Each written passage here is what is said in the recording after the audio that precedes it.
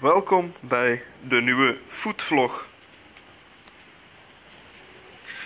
Dit zijn twee voeten die lopen. Dit is mijn nieuwe voetvlog. Vandaag lopen wij hier rond. Heel mooi.